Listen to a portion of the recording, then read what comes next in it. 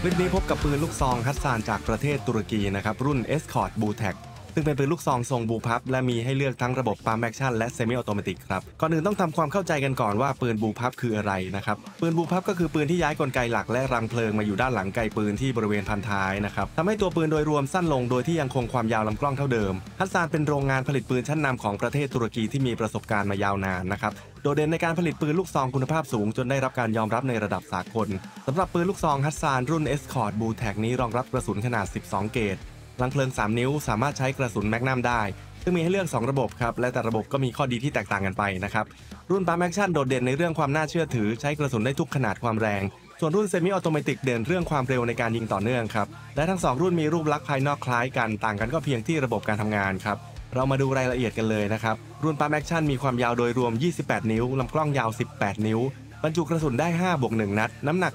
3.35 กิโลกรัม ส่วนรุ่น semi-automatic มีขนาดใกล้เคียงกัน แต่ว่ามีน้ำหนักมากกว่าเล็กน้อย ก็คืออยู่ที่ 3.63 กิโลกรัม เนื่องจากมีกลไกระบบ gas operated ที่เพิ่มเข้ามาครับ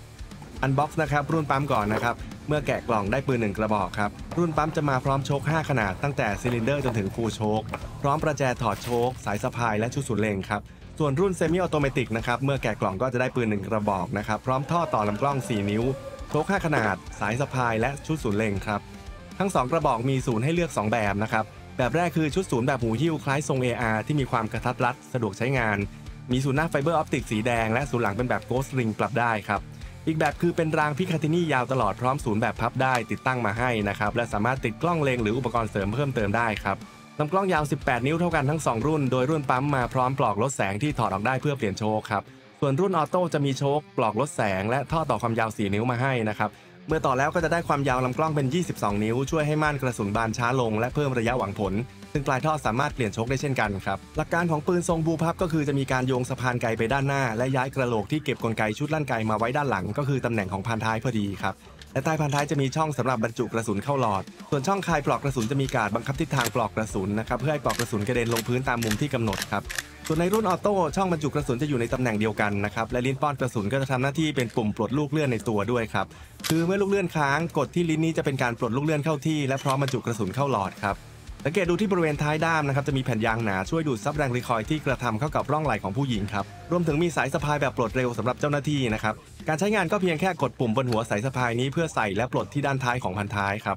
มาดูที่ระบบความปลอดภัยนะครับ BullTac จะมีการห้ามไกลแบบ crossbow ครับ สำหรับผู้ใช้มือขวาการใช้งานก็คือใช้นิ้วโป้งกดข้างซ้ายเพื่อปลดห้ามไกครับ ในส่วนของด้ามปืนมีความยาวพอเหมาะกับทุกขนาดมือครับ มีร่องนิ้วช่วยบังคับให้ grip ด้ามได้สูงชิดโกร่งไกและอยู่ในตำแหน่งเดิมทุกครั้งนะครับ จุดเด่นของปืน Hatsan BullTac อีกประการหนึ่งก็คือ แม้ว่าจะเป็นไกโยงแบบบูพับที่มักจะมีลักษณะไกหนักและไม่คม เพราะว่าต้องทำสะพานไกยาวมาถึงข้างหลัง แต่ก็ถือว่า Hatsan ทำออกมาได้ดีมากครับระยะไกยาวนิดหน่อยแต่ว่านิ่มและเบาครับ ชั่งน้ำหนักไกได้ 5 ปอนด์สำหรับรุ่น pump action และ 4 ปอนด์สำหรับรุ่น semi-automatic ครับ ในรุ่น semi-automatic มีกระโจมมือที่ออกแบบมาอย่างดีนะครับ มีร่องกันลื่นและทรงโค้งรับกับมือ ช่วยให้ประทับปืนได้มั่นคงครับ และคันดึงลูกเลื่อนสามารถสลับข้างซ้ายขวาได้นะครับ วิธีการถอดคือดึงลูกเลื่อนให้ถอยค้างสุดนะครับ แล้วถอดคันดึงออกทำให้เหมาะกับทั้งผู้ใช้งานที่ถนัดซ้ายและขวาครับสำหรับรุ่นปั๊มกระโจมมือจะมีทรงคล้ายๆกันนะครับ แต่ว่าสั้นกว่า มีการป้องกันมือทั้งด้านหน้าและด้านหลังครับ ช่วงชักสั้นทำให้ปั๊มและยิงนัดต่อไปได้เร็วครับ ส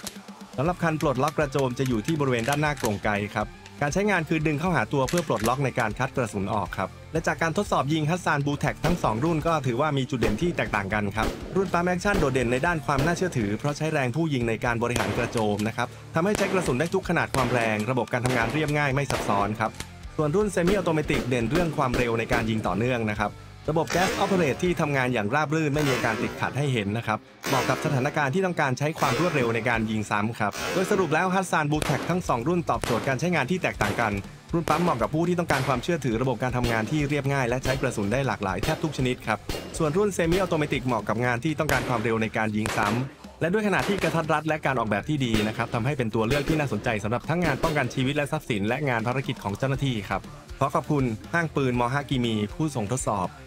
บริษัท Thai Arms บริษัท Bullet Master สนามยิงปืนภูมิไพลิน และสนามยิงปืนกองบัญชาการศึกษาสำนักงานตำรวจแห่งชาติ และอ่านบททดสอบ Hatsan Escort BullTac ทั้งออโต้และปั๊มอย่างละเอียดโดยผมของพัดกรีพร้อมได้ใน นิตยสารอาวุธปืนฉบับ 597 และ 599 ครับ และอย่าลืมกดติดตาม Subscribe ช่องรีวิวของผมไว้เพื่อที่ท่านจะได้ไม่พลาดรีวิวปืนดีๆที่น่าสนใจครับ